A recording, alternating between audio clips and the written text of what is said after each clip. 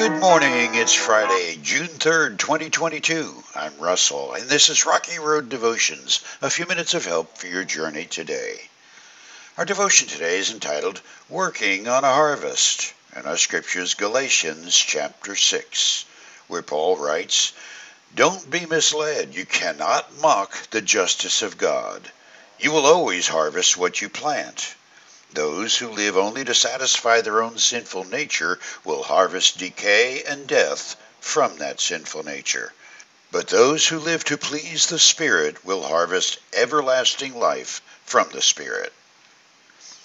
The simplicity with which the Scriptures lay out our choices is sometimes too startling for 21st century minds.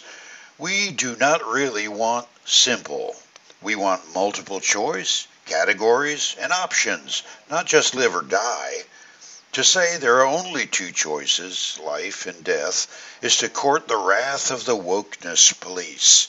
Yet there it is, in Aramaic, Hebrew, Greek, King James, and whatever other language you need or want, the harvest will be what you plant, no matter whether you intended it to be that way, or for that matter, if you think you're entitled to something different.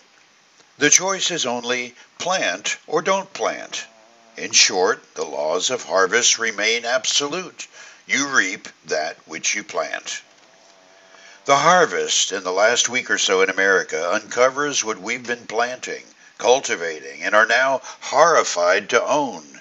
At least 35 murders in three mass shootings, 21 in Uvalde, 10 black persons in Buffalo, and just yesterday, four more at a Tulsa, Oklahoma medical center. Once again, we have sowed violence to the wind and are reaping a harvest of death's whirlwind. If you want to pigeonhole me as to which tribe I follow concerning the gun issue, well, here are the details ammunition if you need it. Number one, I own a handgun it's loaded, it's ready to defend our home if invaded.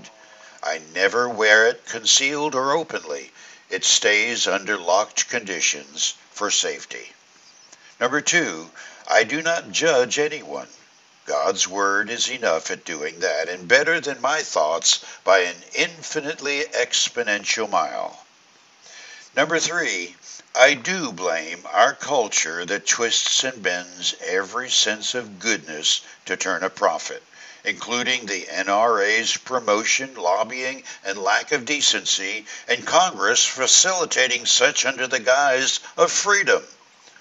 I also include the purveyors of violence who pander to the culture with video games teaching children who cannot put together a coherent sentence but are fluent in how to kill 98 enemies to reach the next level.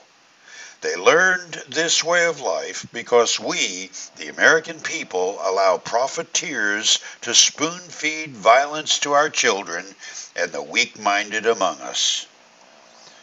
God has always judged and will continue to judge any who add to that list. It is the nature of He who created us and holds the next breath we may or may not take.